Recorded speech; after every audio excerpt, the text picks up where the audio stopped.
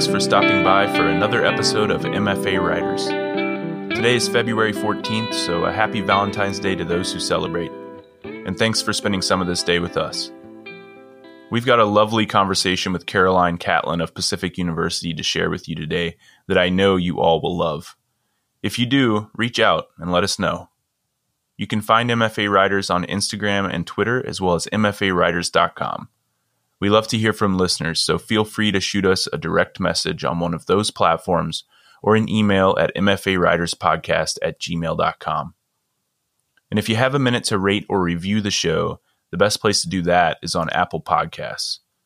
Doing so will help boost our podcast as we try to boost these amazing writers. Also, if you or someone you know would like to be a guest on the show, you can apply at mfawriters.com.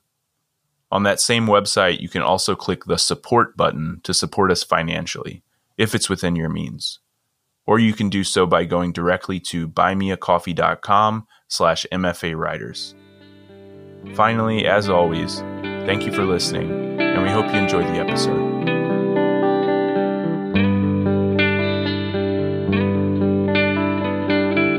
Welcome to MFA Writers, the podcast where we talk to creative writing MFA students about their program, their process, and a piece they're working on. I'm your host, Jared McCormick. Today I'm with Caroline Catlin. Caroline is a writer, photographer, and care worker who believes in the power and impact of shared truths. Her work has previously been published in the New York Times, Teen Vogue, Glamour, Long Reads, and elsewhere. Caroline is currently in her final semester of Pacific University's MFA in Writing program. Her focus has been on nonfiction related work, however, she's a big fan of learning from the poets and fiction writers as well. Caroline's 2020 TED Talk, Why I Photographed the Quiet Moments of Grief and Loss, has been viewed over 1 million times. Today, Caroline has brought a nonfiction piece to read for us titled What I Learned Photographing Death. A nurse hands me a sterile blue gown, a mask, and thin covers for my shoes. I coat my hands in sanitizer, feeling the stick of the liquid on my camera's dials. I scan the space, my eyes noting the woman on the operating table, and make a quick calculation of where the light hits each corner, which parts of the room are too dark to photograph.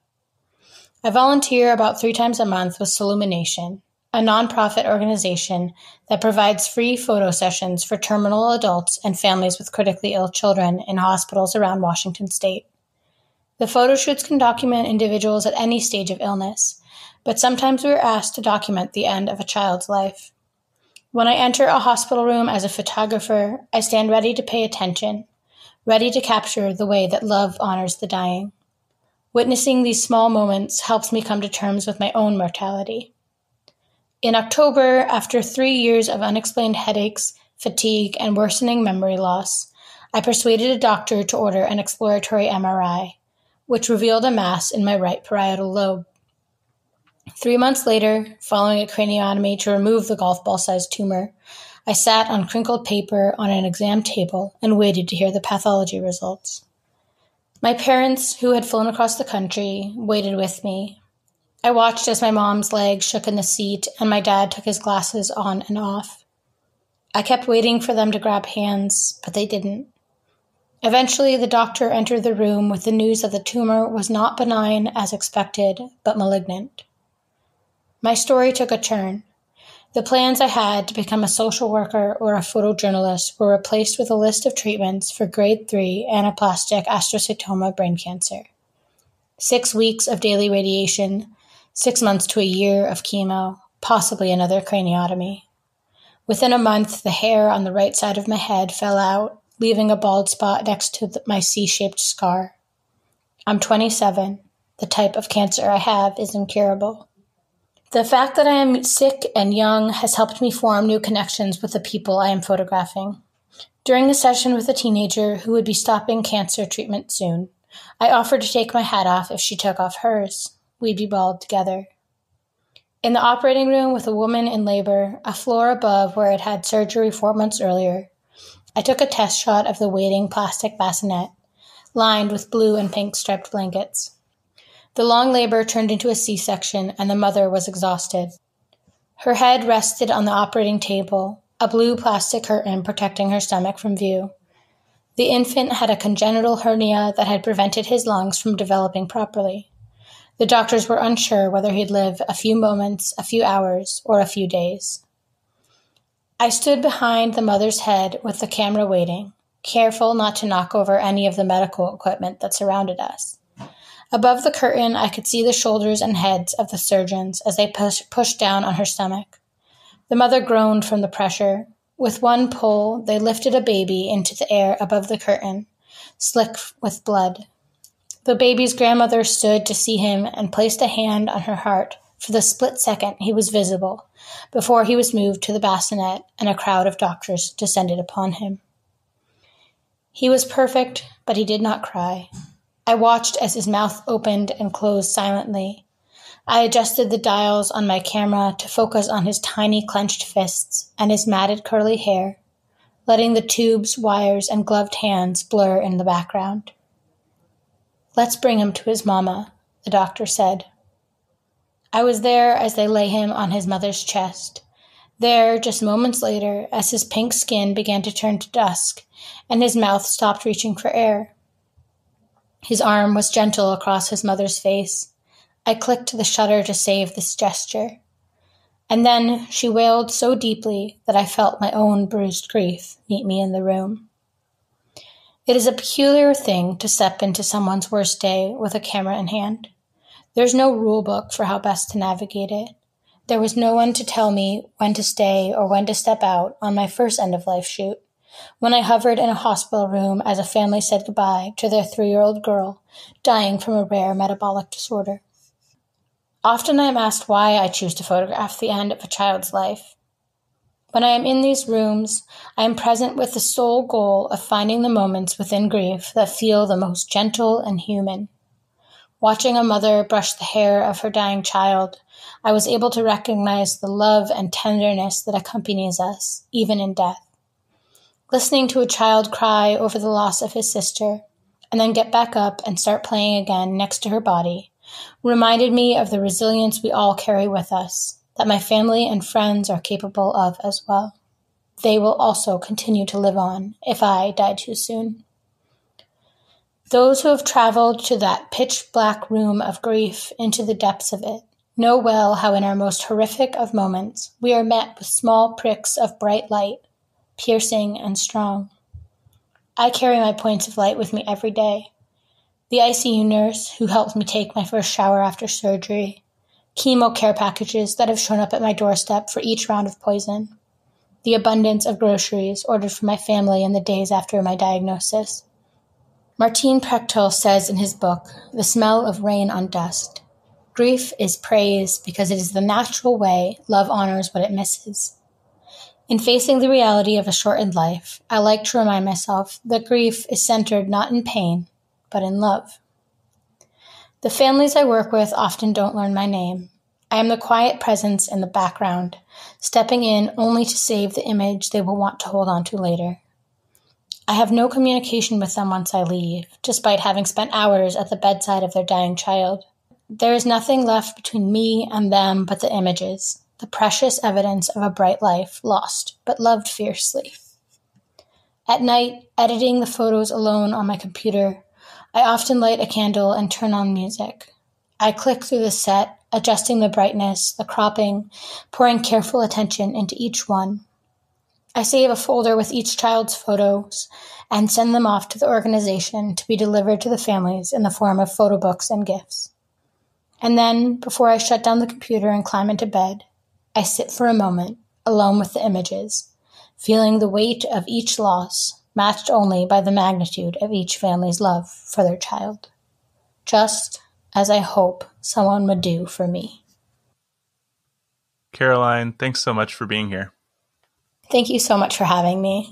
This is such a beautiful story and a beautifully written piece, and thanks again for sharing it with us. Thank you. It's such a unique unique thing that you do honestly, I didn't know or even imagine that this was a thing that people did, taking photos at the end of people's lives. And so I'm curious to know how you got into this. Like, when did this start and what made you want to do it?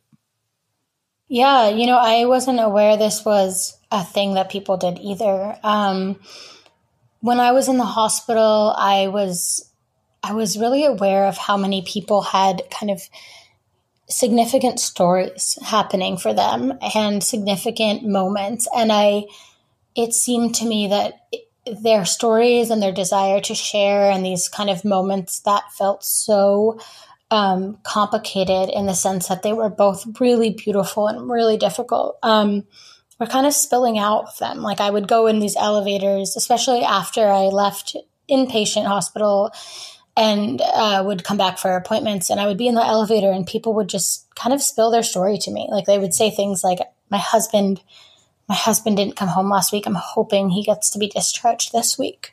Wow. And sort of to themselves and sort of to me you know and i, I guess i noticed that this was um, a place that people were holding a lot.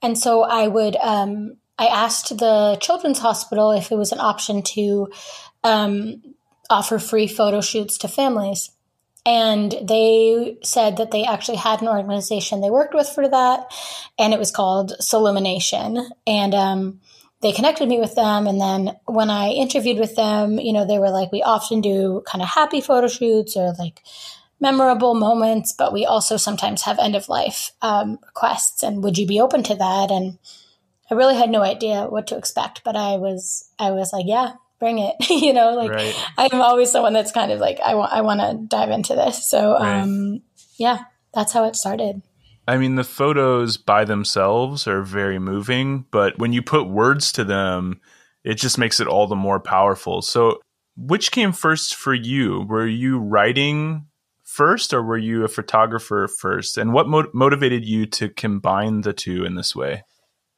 Yeah, I think that I was, I don't think I was one kind of first or before the other. I, as a child, I really loved um, writing. I often was writing as as a young kid, and then I think um, once I knew there was such a thing as a camera, or I, you know, got my first kind of uh, crappy phone that could take pictures, I started right.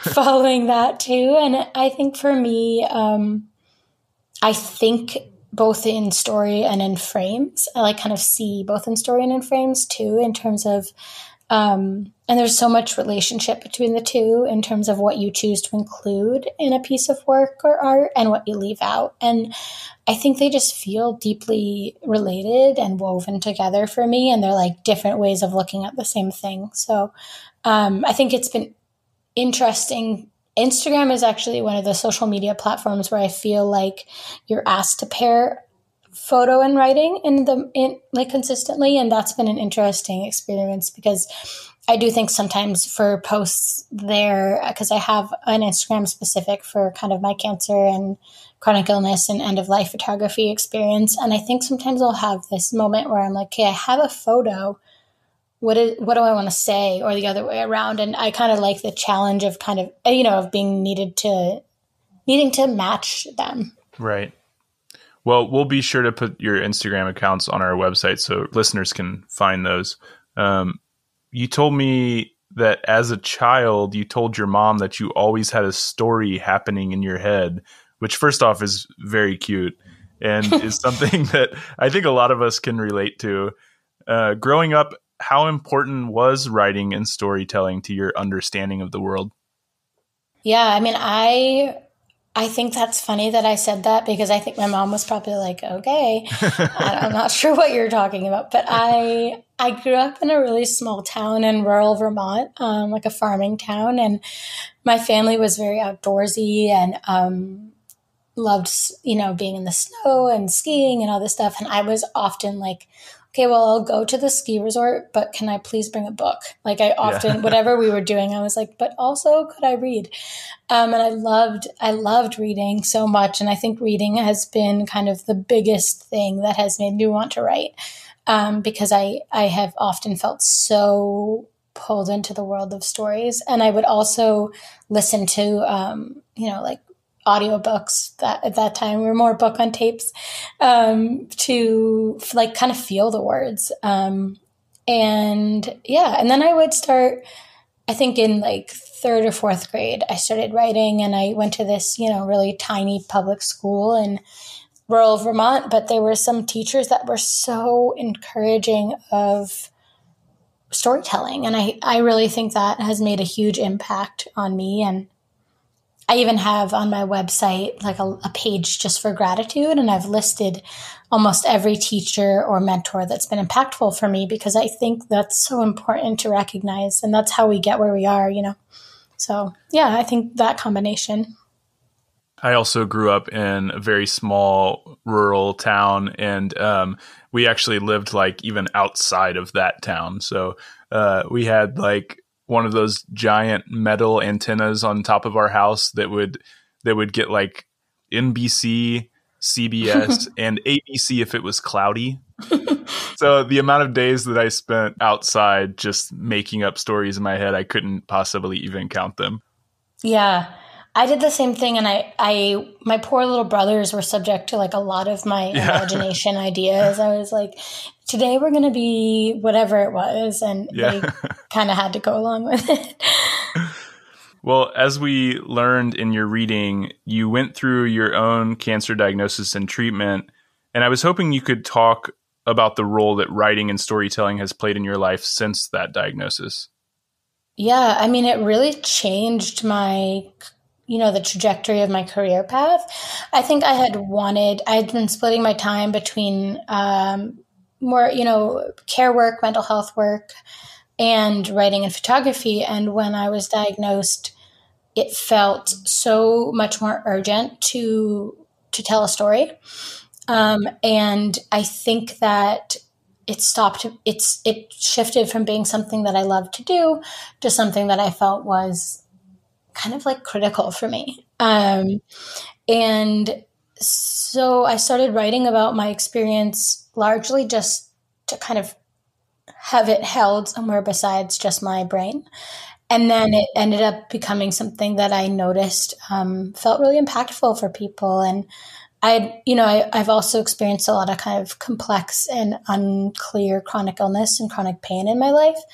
And I think both of those things people relate to in a really different way, like the experience of ongoing mysterious illness and the experience of a kind of life changing diagnosis. And I've just found it to be so helpful for me, both to, for myself to write my story and also the connections I've made through it have really been rewarding and really changed my life. Well, you have some really diverse interests related to writing. You told me that you enjoy writing journalism, creative nonfiction, and sometimes poetry. So, what motivates you to write one versus the other? Do you go through phases where you just work on one, or are you constantly moving back and forth depending on what inspires you at a given time? That's such a good question because I do feel like it's um, the genre can often just be an entry point, and Nonfiction is probably the area in which I most often feel comfortable. I like the challenge of journalism because often you need to shape your work around a specific publication's, um, you know, like voice. And I, I, really love the challenge of trying to match that. Um, in terms of poetry, I actually don't, I don't really feel like a very good poet, but I do love that it becomes this way that I can, um, maybe talk about something sideways until I'm able to talk about it in a different way. And I, reading poetry is what helps me be the best writer in, that I can be. I think it really uh, opens my my mind and my like access to words in a different way. So I really value reading it for sure. Yeah, I'm the same way. I love reading poetry and I try to write it sometimes, but I also feel like it's so hard to do. I know. Poets are magic. Yeah, lots of respect for the poets listening for sure. And what about reading? So, what kinds of things do you like to read? And do you find that what you read influences what you write? Oh, definitely. I I have always been someone that, without entirely meaning to, mimics the style of what I've just read. And I think that's the case for a lot of people, but I notice it down to like the sentence structure for me um, which is kind of fun because I'll, it feels like it it it opens a different way of writing I didn't know I could do. Um, right. And I'll write, you know, my own story, but I'll write it in the same like kind of cadence and beat of whatever I just read. So I love that. I read kind of a wide variety of things, but I really I read a lot of memoir. I'm trying to read more fiction because it's the storytelling is such a uh, unique and different and expansive thing within that, and I'm I'm just fascinated by how people make that happen. So um, yeah, I feel like I read a, and I read a lot of poetry too. Yeah, any emerging writers out there? I'm always surprised. I mean, I, I predominantly write fiction, but I'm always surprised at what I learn or how I'm inspired when I read nonfiction or if I read poetry or other forms as well. Yeah, we definitely learn from our peers and and from different ways that people construct because ultimately we're all telling stories and it's just a way of yeah, how do you access those stories? So when it actually comes time to write, what is your process like? Do you have any routines or rituals that help you get into the writing zone? Yeah, well, I wish I had more because it's often really hard for me to get in that space. I will say what works best is to, I write best in the morning. Um, I try to read for 20 minutes before I write. Um, and I think that really helps, especially if I read something that's kind of challenging me to think of uh, a different way of writing. Um, and then I find that I can drop into my own work a lot better. That's such a good idea. I also write, try to write first thing in the morning, but sometimes I don't know. It's like my brain needs to get revved up, and the coffee hasn't quite kicked in yet, so the the writing uh, takes a little while to get going. But maybe I like the idea of reading for twenty or thirty minutes at, in the morning before I start writing. I might try that. Yeah, and I also find that if I can't focus on reading because it takes me a while to get wake up, I will just listen to an audiobook. Um, kind of even while while I'm doing other things, and um, a really a really good audiobook or a really good author to listen to on audiobook is Toni Morrison. Uh, she a lot of the audiobook she narrates, and I find that I don't even entirely need to track what's happening in each section to feel the kind of the words like settle into me. Wow. I mean, she's such a poet. Um, yeah, right. Uh, on a on a line level, and so I find it really helpful. You started your graduate school career in a Master of Social Work program before deciding to pursue the MFA. So, what motivated that change, and what did you hope to get out of an MFA program? You know, I started my MSW the, a month before we found the tumor. Um, and I was really struggling in school. I was, uh, I couldn't keep up. And so when we found the tumor, I obviously had to um, take time off, even though we didn't know it was malignant yet. But then I think I, when I, tr- I tried to return to that program when I graduated, and it was, you know, the onset of COVID and all these things, and I was finding it so hard to be on screens in that way all the time. And I also, was thinking about it honestly from a disability perspective of being like, I I cannot work the hours that an MSW is asking of me. Um, and at the same time, I was um, having a lot of opportunity to in my writing career, and um, and and I felt like a lot was taking off for me in that way. And so, yeah, I just I was um, kind of inspired to follow that track. I think I was writing a lot, and I had um, someone who was mentoring me and she was like, you know, you you could try an MFA. Like, yeah. why don't you give it a go? And so I yeah, I took a chance. What were your goals in pursuing the MFA? Like what did you hope to get out of that program? I would say there was a lot I hoped to get out of it, um, but I didn't really know what it was. right. I, th- I think a lot of people don't. Yeah, I was really not sure what to expect. I wanted, you know, I had been working on a project that I was hoping would become a book, and I wanted the consistency and I wanted someone to kind of um, I wanted there to be a system that was pushing me to keep going. Right. Um, and I also wanted to be inspired not just by my kind of the faculty but also by my peers. I wanted a writing community and so I think that was those were all things that kind of led me to to go in that direction. Yeah, I think that makes total sense. I I also didn't really know what to expect when entering the MFA program. Mostly I just wanted the community and I wanted to be around people who had made a career out of writing so that I could absorb some of their knowledge.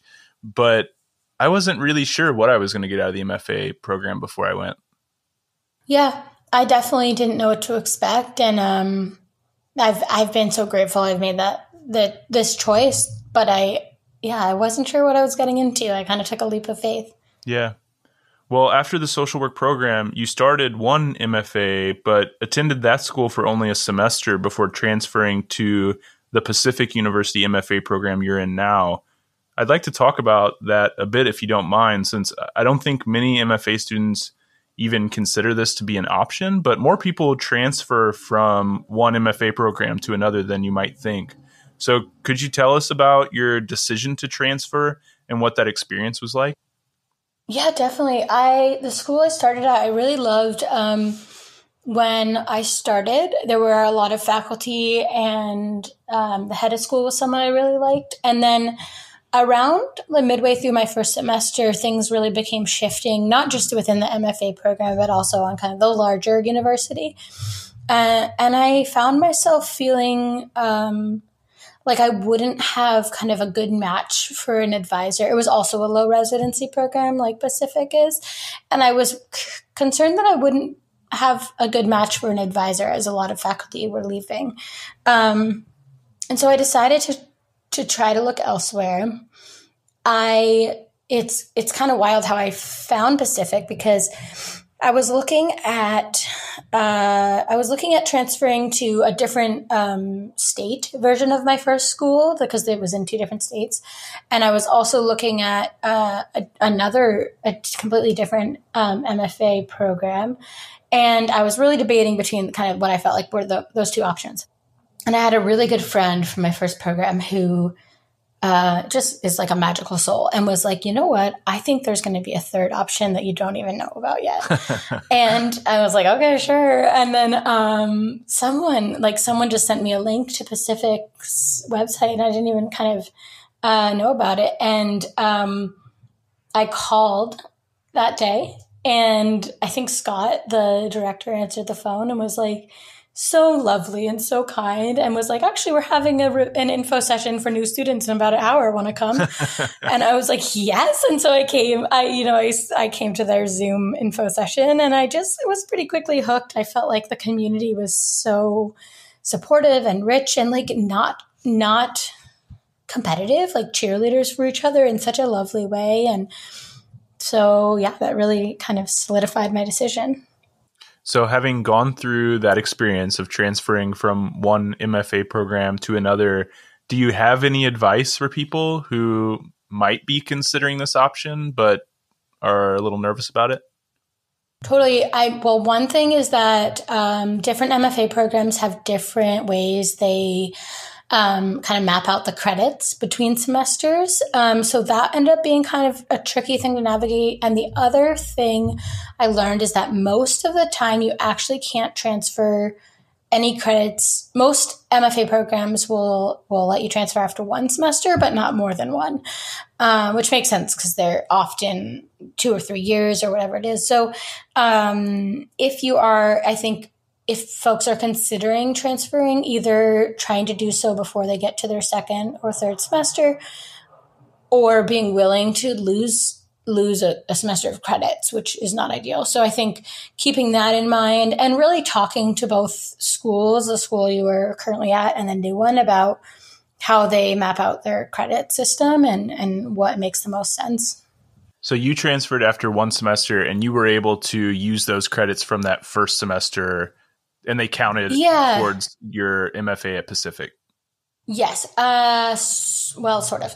I had started, I was like a month into my next semester, my second semester at the first school, um, which sort of ended up helping because it, and it, like, I think, I don't remember exactly, but I think that one of the schools had like more credits than the other for a semester or something like that. So it ended up working out really well. But, um, it doesn't it's always it's i don't think it always does i think it's tricky and I, pacific was so um, kind of understanding and adjusting to that which was really really great yeah Okay, so something to think about and look into if you're considering it. Um, there's a chance that some of your credits from the first program won't transfer. So you might have to start over or take a slight step back if you're going to go to a new program.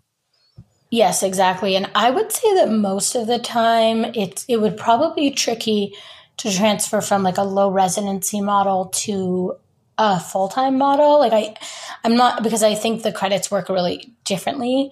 Um, because I, for example, I had already done my residency for the next semester at um, the first school, so I could like kind of carry that over. But it's you know the the low residency model is just made up in a different way than some other schools. Right. So.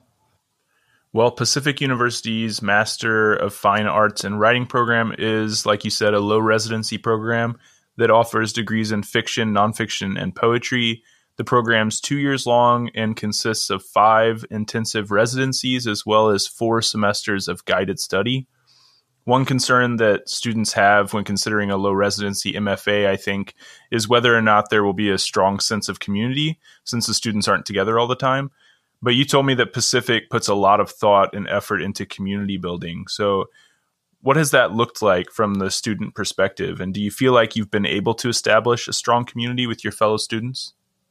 Yeah, I, I definitely do. You know, I think it was it was a much harder, but I think for every school when it was when we were kind of in the heart of the pandemic because um, you know we couldn't have that. Re- I think for low residency programs, that in person ten day intensive residency is really like kind of the heart of the program and the semester. And so not being able to have that in person was really hard. But since we've had two in person, it's just been you know really life changing. And I I think a lot. It, you know the residencies feel like both writing boot camp and like summer camp somehow. and so it's like you really get close with people there and you really um, get kind of immersed in this inspiration and this world of words, really.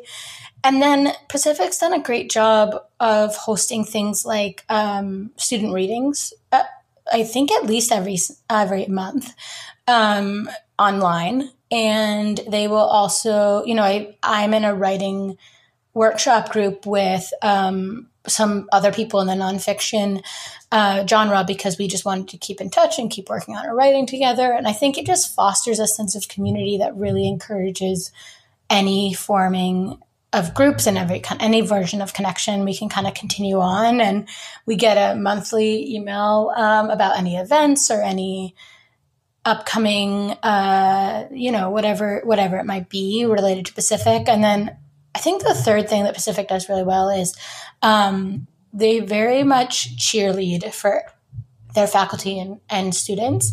And that can mean like they send out links to when someone's having a, a reading or a book signing, whatever it is. And I think that's really important, an important way for us to support each other even when we're not together. Well, speaking of the residencies, I noticed that Pacific's program actually starts with a residency. So you you actually have five throughout the course of the program. It sounds to me like because of the pandemic, maybe you didn't get to have that first one in person, but I'm curious to hear what you have to say about the benefits of having a residency to start the program. Yeah, I mean, I think that it feels like a fresh start. It feels like a, a way to enter into a new semester feeling really excited um, because you're exposed to so many different you know you're in a genre based workshop but then you're also able to go to classes of any genre and you can there's a bunch the faculty readings every night and student readings every night and um, i think it just is such and you know our conversations with each other are so often around what we're excited about. And I, and so I think just like when you're approaching the semester where you're like, wow, I'm going to feel like I'm really working hard, sometimes by myself, having this feeling of cohesion and support is, is so helpful to kind of start you off on the right foot. So, beyond those relationships with your fellow students, have you been able to establish some strong relationships with faculty and staff as well? Definitely. Um, I mean, I think one thing that feels great is the kind of, you know, the director and everybody involved with the more administrative side of things is so accessible and such big writing fans themselves. And so that feels like that feels really nice. There doesn't, I don't think there always feels like this big separation between the people who are making the program happen and the faculty and the students. Um, so that's been nice. And my advisors have been really lovely every term. Um, I worked last term with the author Claire Dederer, and she was just so brilliant. And um, I just feel like I learned so much um, from her and from all the people I've gotten to work with. And in the different workshops, you're not always, you can be with any member of faculty in your genre. So it's nice you kind of get to meet a lot of people and work with a lot of people. What do you think the benefits have been to having different advisors for each term? Yeah, you know, I everybody has such a different way of approaching the work that they're doing and the way actually I think one of the most helpful things is the way that each different advisor looks at your work. Um, the kind of lens from which they approach your work is so different. And that's been really helpful because everybody, it, it helps you get like a balanced view of what a reader, uh, you know, what your readers might feel. And that's, that's been really cool. And everybody has a different skill set and, and area of strength. So I feel like uh, the collaboration has been really cool outside of residencies, what does a typical week look like when you're working from home? Do you attend weekly Zoom classes? Are you in regular contact with professors and advisors? It sort of depends on the advisor. I think everybody has kind of a different way they like to be in communication or a different amount they like to be in communication. But the the standard protocol is that we have different um, like packet due dates throughout the semester. So we'll work kind of independently on our on our work um, for maybe like a month, month and a half, and then we turn in everything to our advisors. And then within a week, we usually hear back either via phone call or via letters and notes on our work. Um, but then, like I like I said, Pacific also will have like student readings or different events happening that you can attend via Zoom. And you touched on the residencies a bit earlier, but uh, I'm curious to hear you talk a bit more about that. So, like, how long are the residencies, and what does a typical schedule look like? Yeah, they are ten days long. Um, the for Pacific, the summer residency is in their campus in Forest Grove, Oregon, and the winter one is in Seaside, Oregon. Both which have been just beautiful. Um, yeah. But then yeah, really like the whole the whole walking on the beach after a poetry reading is is hard to beat. but um, yeah, I think uh, the day you know you wake up there's often there's craft talks that happen maybe three times a day and those are about an hour long and it's a faculty member presenting on a specific element of craft um, and so we go to that, and then we usually have morning workshops that are kind of our intensive workshop group. So that's um, with a group of maybe five other students and a faculty member or two faculty members, and you're bringing you you've already turned we turn in like a month before things we want to work on and then everybody reads it and we kind of workshop together each day each person gets a day. And then we uh, you know we'll have later in the in the 10 days we'll have um, classes and those can be kind of like a one-time thing and either they're you can you know sometimes they're really generative sometimes they're more like mini craft talks that are more kind of um, like small groups. And then at night we usually have uh, faculty readings and then student readings both of which are very well attended. Like i would say I mean, I'm not surprised that all the faculty readings are very well attended, but it's been so lovely to see people, there's just like half the school at least show up for student readings at night and like really cheer for each other. That's been really sweet to see. Another thing I wanted to ask you about was funding, which can be a bit of a sticky issue with low residency programs because mm-hmm. most MFA programs fund students through teaching, but since low res students aren't in person all the time. Those opportunities aren't always available. Uh, I did see, though, that Pacific offers several scholarships, including at least one fully funded scholarship for an underrepresented writer. So, what do you know about funding opportunities at Pacific? Yeah, um, I do know there's there are scholarships that have been really helpful for folks. I um, have not been in a situation where I needed to or decided to apply for one. Um, but I knew know they do have some some opportunities that have been really helpful for folks, and I'd also say they're very um, willing to work with you and and make it feel as accessible as possible. There is like a payment plan option so that you can break up um, tuition payment over several months and different things like that that I think have been really helpful. Um, but I, I, I mean, I I think the biggest issue with MFA programs, not just Pacific, but in, in the world, is that they can be really inaccessible for a lot of writers. And I, I think that's like a kind of ongoing conversation, but it doesn't feel like one that is not um, something we can talk about at Pacific. I think I think that's really important to talk about the privilege it is in general to be able to attend an MFA program, and I I don't feel like that is um, like something we don't we don't we ignore you know, which is important. I really, I think it really is. Yep. And I think that that's good advice because often these programs, I think, have more money than they let on. So mm. sometimes it's just a matter of asking and saying, "Hey, I I need this in order to be able to do this." Yeah, totally. So you mentioned earlier that you didn't really have expectations going into the MFA program, or you didn't know what to expect. But I'm still going to ask my final question that I ask everyone, which is what is one way in which the MFA experience has been different for better or for worse from the expectations you had when applying? I mean, I think that the biggest thing has been re- like learning that even if I have all the scaffolding in the world in terms of like someone's waiting for my work to come in and I have expect expectations every month or whatever it is, it's still on me to find a way to create a schedule and a, a, work structure that means I turn in work. And I think that sounds really obvious, but I think I I, I am I like forgot or didn't consider that I would still really need to show up and and and put the pressure on myself um, because that's ultimately and I, I do think that's a benefit of low residency because I think it's it's a good way that you're learning how to have a career as a writer.